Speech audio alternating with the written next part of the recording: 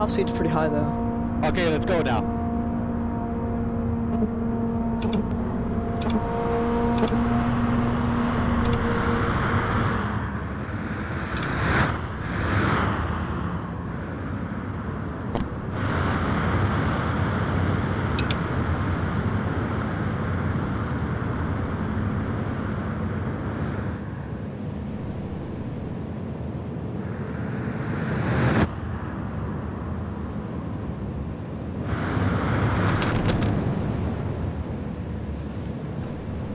perfect!